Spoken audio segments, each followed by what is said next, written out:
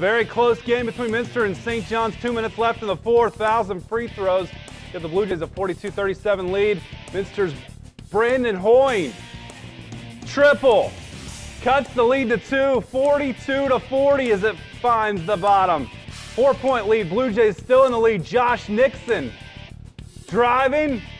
Jump stop. Quarterback gets it to fall. Cats within two. A minute to go. But Delphos St. John's holds on as they get it. Final 10 seconds here. I've already ruined the surprise for you if you're a Minster fan. If you're a Blue Jay fan, you're happy because you won. Catch the ball and celebrate. Jays, they're always so tough.